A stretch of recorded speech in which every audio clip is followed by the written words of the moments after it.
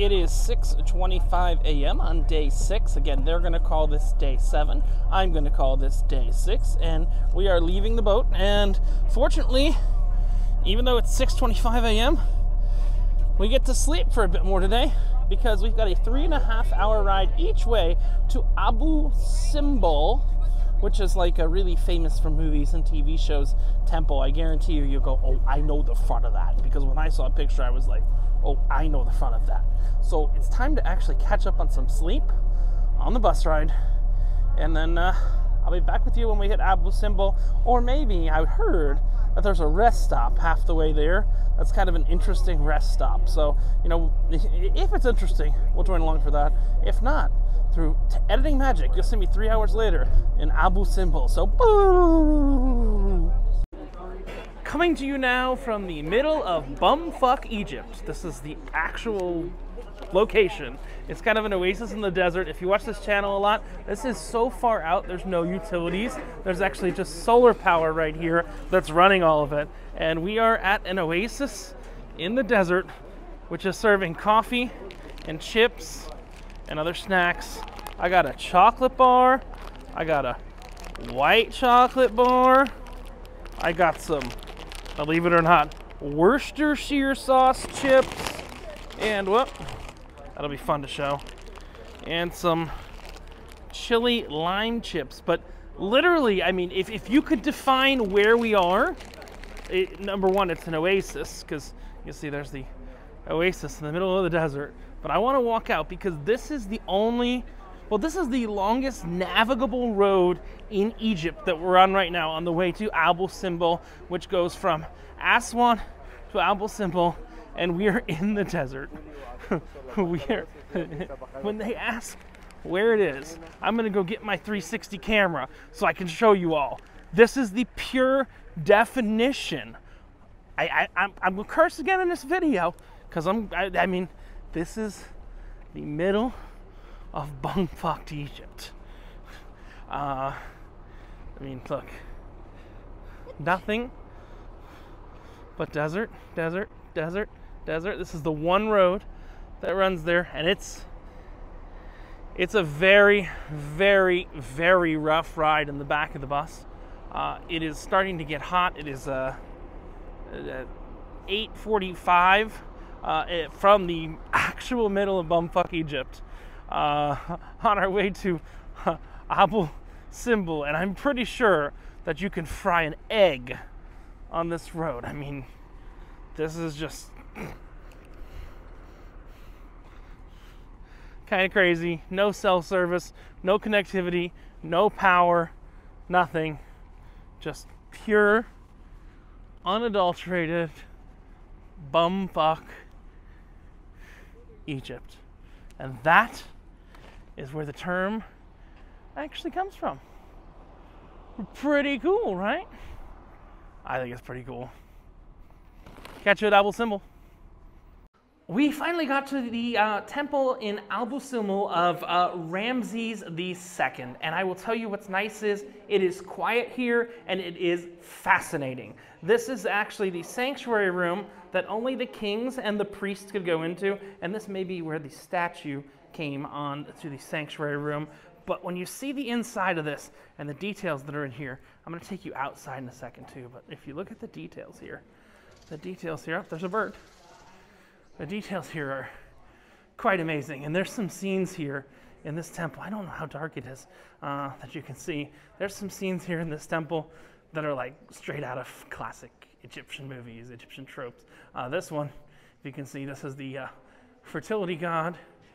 It is a little bit dark. I'm going to do something I probably shouldn't do, but uh, we'll throw a little flash up. It's a little bit dark and you'll see his uh, m- member right there from the fertility god. Uh, and you can just kind of see the details. But I will tell you,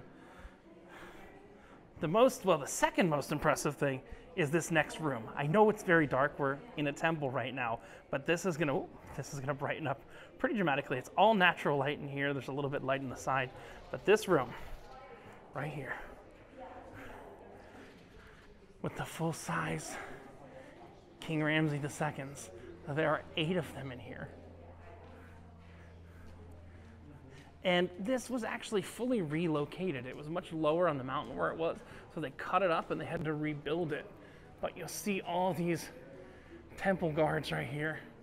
Got some great 360 content coming out that's going to give you a much better perspective of this.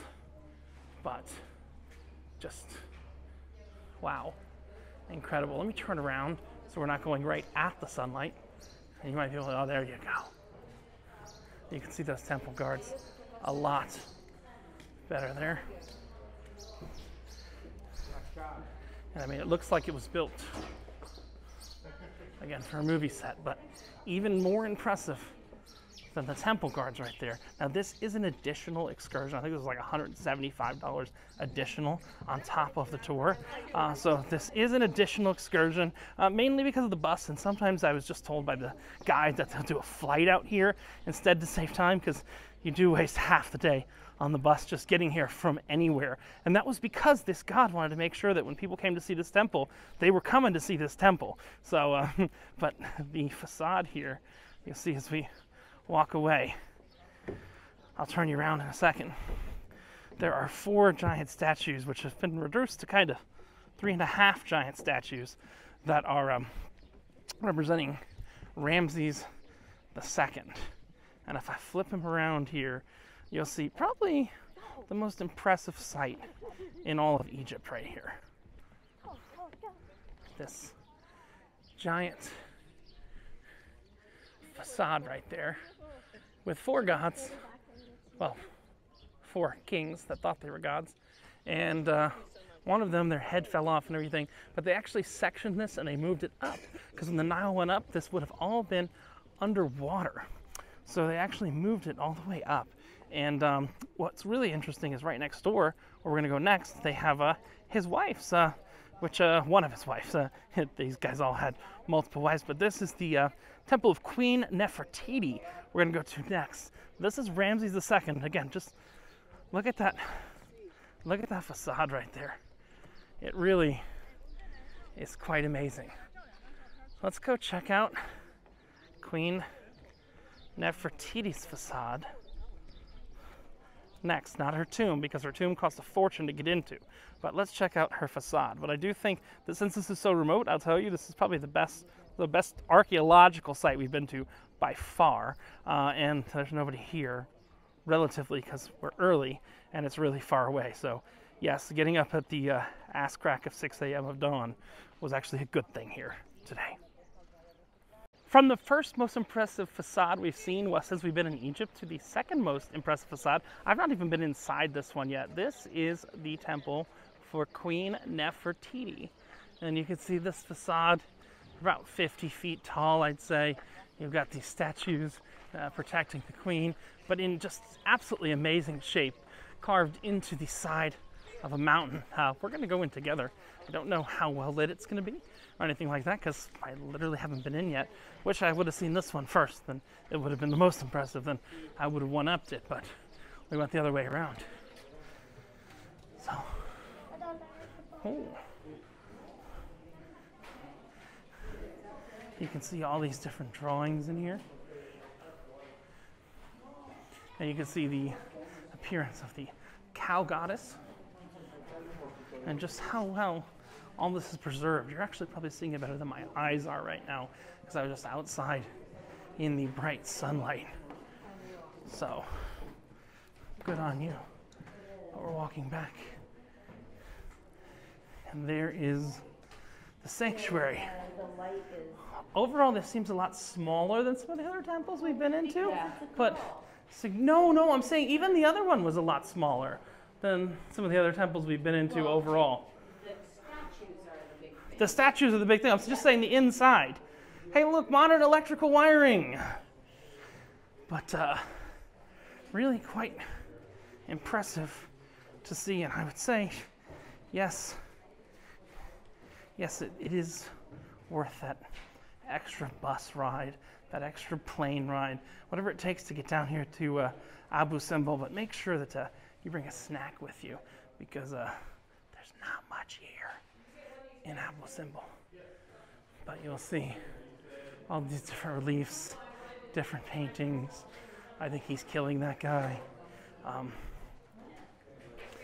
slightly less, uh, well, a lot less grandiose than the last temple we were just in, but still uh, impressive of its own, especially given that uh, big old uh, relief in the front. Let's let's jump back up to the front and take a look at that uh, the relief on the front, the, uh, the entrance, the facade, whatever you want to call it there, um, just from this way. So, coming down. And I will tell you, these are also the most accessible places we've been. They've built up wooden paths, there's not as many rocks and things like that. So I do have to say this is a very accessible temple. Um, both, both of these temples are like the most accessible things I've seen in Egypt so far. Uh, so I do kind of uh, congratulate them on that. But that's one more look at the relief. And I think we're going to get back to the bus. And look, this has a, been a uh, by the time we get back, this is like a half day to three quarters of a day adventure just to spend an hour and 20 minutes at these two temples. But uh, just the grandeur and the scale. Definitely check out the 360 videos I'm going to put up because you'll see that it's uh, very much worth it. So I'm going to shoot some 360 now, and I'll come back to you if I find anything else along the way we had so much fun the first time on our way over that we had to stop by bumfuck Egypt again on the way back. And you know, one of the things I was wondering is, you know, we saw the solar power, but I was like, where do they get their panels from? Where do they get their water from? And because I'm a solar nerd, if you know this channel, I just solar powered my F-150 electric truck, and you'll see right behind me we've got solar panels. And, you know, they've got solar. They've got a water truck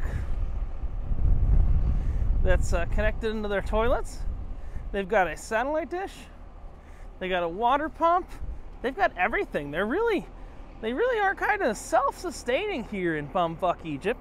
Uh, and uh, it's just right off the coast, uh, right off the uh, side of Interstate 75. Well, inter country, intra country, it just goes in Egypt. Uh, 75 right here. You'll see it's a lot quieter in the afternoon, but here is the interstate right here. The police have shown up, uh, and there's just a little thatch hut. So, I mean, if people really ask, they go, what is there that's actually here in bumfuck Egypt? There's really not much, which I mean, I guess that's why they call it the middle of nowhere. That's not really a destination of its own. It's just kind of, you know, bumfuck Egypt. So, um, coming to you from the middle of nowhere, from a coffee bar. Uh, and I guess, oh, and look, they even call this place what I thought it was. They call it a mirage.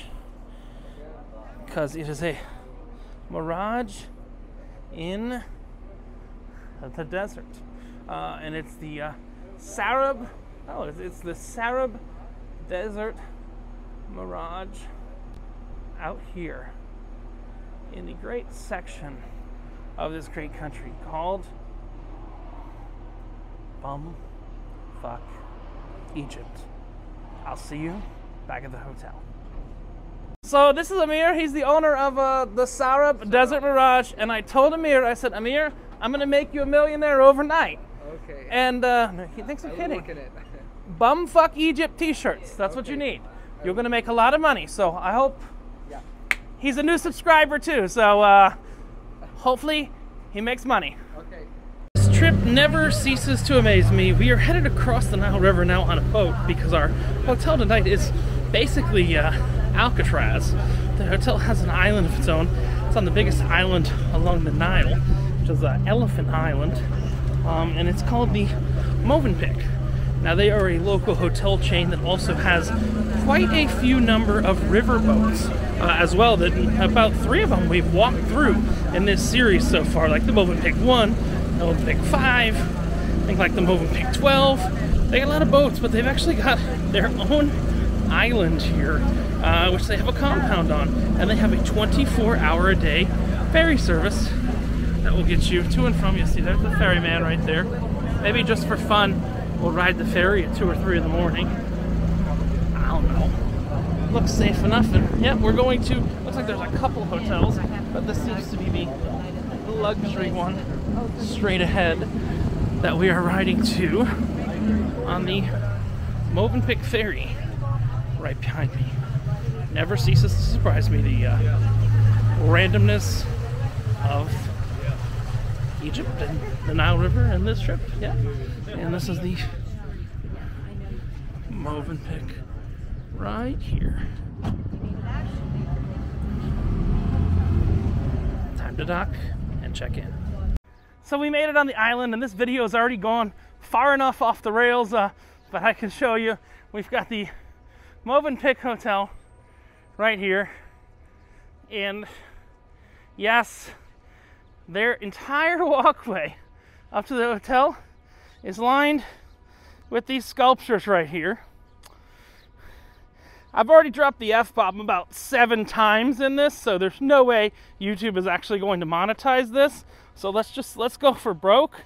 Um, they have giant penis statues that are lining your entire walk-in. You'll see the shaft. You'll see. Well, I mean, hey, at least they're circumcised penis statues. I don't see a foreskin, but uh, yes, giant uh, phallic penis statues walking all the way into the Movenpick Hotel. Bravo, my friends. Bravo. It was not intentional in any, in any, way, shape, or form, but consider me impressed. When we left the boat this morning, I left something in my cabin, and since we are still in Aswan, it was something little. It was a, a mount for a cell phone for a tripod, but they actually delivered it to the hotel. I am blown away so far. I mean, this is not a one off, but I want to tell you, it's like the hotel and the boat have no relationship, but they knew where we were going. I am blown away with the service of the actual people that are working in Egypt. The fact that they got something that was in the room from the boat when they cleaned the cabin to the hotel we're staying in, which is across the other side of the Nile, consider me extremely impressed. See, Mayfair, room 202, and I got my little uh, thing, which probably fell out of a bag somewhere. Super duper impressed, and that's why I left a significantly larger than uh, uh, recommended tip. I was recommended to leave 25 bucks. Yeah, I left the 25 bucks I was supposed to give, but I gave my cabin guy more, my dining room guy more, the bar guy more. And I'm not gonna lie, in the bar, my bill was also considerably less for four days. A lot of drinking, all those videos you saw and stuff. I think I paid $30 total on my bill. So it is what it is, but I'm super impressed by the service here uh, in Egypt as a whole, because that's a river cruise which is completely unrelated to the hotel working together. Two, oh, I don't know, I'm holding a camera, but if I can put the other one here. Two, one, two, very big thumbs up to the cooperation between two completely unrelated properties, unrelated things in Egypt. So we are now at the Movenpick Hotel, and uh, I, I, do love that they do have a uh, modern tap key system compared to the boat. I also do love that they have uh, completely given up on this uh, energy switch because nobody likes these things anyway. like they, this is their key that they've put here, not my extra key I happen to carry. Now, this is on the other bank of the Nile River, but unfortunately, it doesn't look like we have a Nile view. But we do actually have, oh, we do actually have a balcony we can use. First hotel didn't have this. In fact, oh, we do have a slightly obstructed Nile view. There we go. And you can see, if you look out, you'll see that thing with the sail on it. Uh, that's a little bit of foreshadowing because in 40 minutes, 40 minutes, we are going to be sailing on a felucca. So um, there was no lunch today. That was uh, that was piss poor planning between you and me. I think that that tour should have included lunch because breakfast was at five o'clock in the morning and it's now three three twenty two. No, not three twenty two. 4:22 p.m. and we haven't had lunch yet, other than some chips and some junk food. Uh, but I'm going to go grab a sandwich or a burger or something like that, and then after that, we are going to go on one of those guys right there a felucca, and we're gonna do felucca at sunset. I'll take you along a little bit on this, but I'm gonna tell you where you're gonna want, wanna watch that is in the 360 video that's gonna come out. See you there. So since the last time I spoke to you, uh, I scarfed down a club sandwich really quickly, and we are headed out at the Fanuca. Uh, I had a burger option, but uh, uh we're gonna go to McDonald's later. I'm gonna take you along, uh, and this is the Fanuca. There is no engine here. I think that's what's unique. So you've got a sail, and you've got a rudder right down there. But you know what you don't have? you don't have an engine. So this is like an old Egyptian sailboat. It's called a Fanuca. So we're gonna go for Fanuca ride. I'll take you along on this camera, but I think your better experience is actually gonna be if you check out the 360 degree Fanuca ride, which should be posted pretty soon. And we are on the Fanuca. I'm seeing how well the noise canceling, uh, wind canceling microphone works there. You can kind of see coming by what we're on. It is very windy out here, but it is uh, quite uh, quite pretty overall. This has no motor on it, so we are fully reliant on the wind and the speed we're going. So this is like a primitive. I, mean, I don't know if it's primitive, uh, but this is like an Egyptian sailboat, and you can see the sail change.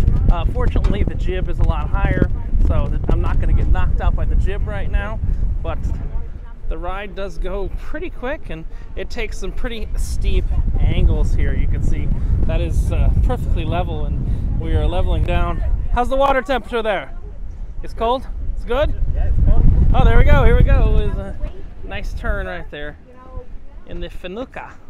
And we are on the Nile River, sailing under power that existed long before motors actually even existed um, on the Nile. It's really quite cool. Make sure you check out make sure you check out the 360 video of this. That's gonna drop a few days after this video because it's much bigger.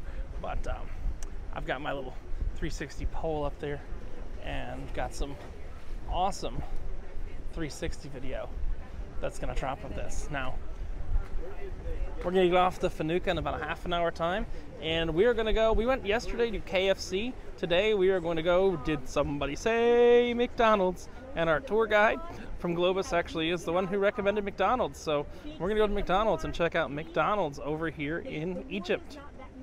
And after our Felucian ride, what did somebody say? Somebody said McDonald's, and this is literally on the Nile River. It's it's purely really cool and really insane that we're on the bank of the Nile River. And yesterday we were on the other bank and ran into a KFC. And uh, today we're on this bank. Oh, that looks good. We run into a McDonald's. Now, hopefully, they got one of those machines that you can order from that's in English. And you just do, do, do, do, do, do, do, do, do, and you go in. But like, this is where the riverboats are, and here is where the McDonald's is. And unfortunately, it is not uh, not up to date enough to yeah yeah it's not up to date enough to have those machines. But you know, maybe one day they'll have those machines where you can order. Oh wait, hold on, hold on. Something that they literally don't have in America anymore. I think is in this McDonald's. I legitimately think there is a play place in here. And I'm not intentionally going to show kids, but I will show yes. There is a play place. No kids shown, yeah. It's a very tiny play place, but there's a basketball hoop and some other stuff like that. So, yeah, this is a McDonald's with the play place. And let's not lie, it's crowded as hell. And the prices, I can't, I can't really see yet, so I can't tell you if reasonable or not. But I'm gonna order like the most strangest thing on the menu, most different from normal, um, and we'll see how it is. If you would have put waiting for my McDonald's food at sunset on the Nile River on my bingo card for this trip, I would not have predicted this. But um, tonight is dinner on your own, and I'll tell you, dinner on your own has been kind of hit or miss. So um, McDonald's has consistent quality. So out of the 45 people, six of us went along with the uh, tour guide without an armed escort or anything like that because I feel this area, Aswan, is perfectly safe. We got our numbers right here. Uh, there's number 18. Nothing but locals here. And uh, right on the Mississippi, not the Mississippi, sorry, right on the Nile River at sunset, we are going to have our Mickey D's. I, this again, not not anywhere on my bingo card, but uh, a pleasant surprise. And I'm trying everything. I got the chicken nuggets, I got the beef burger, and I got a chicken burger, uh, and some fries, and some barbecue sauce, and a coke, just to kind of try everything right there. So I'll do a review, and I'll let you know how it all was as soon as it comes. So McDonald's was actually fantastic. Just like KFC, I actually think it was a little better than the US because there's a certain care that went into preparing everything. I had the spicy chicken, which was really, really good. Uh, I had the burger uh, uh, that was really, really quite nice. Had a nice cheese on it and everything like that. And I had the chicken nuggets, and they had a barbecue sauce that was a little bit different than the barbecue sauce that they normally have at a McDonald's. But, uh, you know, uh, if, if you don't know, McDonald's is not a food company. I've been telling everybody today that it is a real estate company. So uh, just be aware, you know, they're, they're making money by, uh, by selling real estate and leasing real estate to franchisees. But I'm on the streets of Aswan, uh, just walking around after finishing McDonald's. And I'm to head back to the hotel and kind of repack because tomorrow, early, early, early in the morning, we actually fly. Uh, back to Cairo. And then we got a day in Cairo. We're going to go visit Memphis and the uh, Delta, where the water gets out of the Nile River, and uh, take it from there and then fly back the next day. But this is going to end day six here on the um, Escapes by Globus with Nile River cruise. See you tomorrow for day seven. Well, on the way back to the uh, hotel, the boat to the hotel, the boatel, I wound up doing a little more exploring and got some of this. Uh, I'm not sure what it is. Actually, it's nice. The other side is English. This says Fanta Apple. I swear I've had this at World of Coke before, but uh, this is Fanta Apple, and we came across a little uh, store that's got wine and liquor and all kinds of other things, uh, and it's it's kind of cool. Uh, my my El Salvador friends. My El Salvador friends. And both uh, certified. And shop certified. Yes. Yes, certified. That's. Rum. Rum. they're uh, they're trying to convince him to get some whiskey, rum, stuff like that. I've got my Fanta apple, and uh, I'm happy right here. I think we're headed back to the hotel now via the boat, but who knows what other fun exploring is going to come along our way. So it's interesting. You learn more and more as you ask questions. I know that's the way the world works, but uh, they are not supposed to sell alcohol to locals here. Uh, they can buy beer, but wine and hard liquor, they're not supposed to sell. So only the touristic places, only the tourist places actually have access to sell wine and hard liquor. Yes, locals can get beer, but that's why when we went in that shop, you know, we had to go through a couple things, and all their liquor and wine was in a water box. Uh, strangely, but uh, it's actually really kind of interesting that like on the boat the rules don't apply. But a lot of other tourist places can only sell alcohol after a certain hour of the day and only sell so many drinks. Um, it's a little crazy. And then it really can only sell to tourists or people that are traveling. Ooh, I got the burps from the uh, from the apple apple drink. Can only really sell to tourists and people that are traveling with the tourist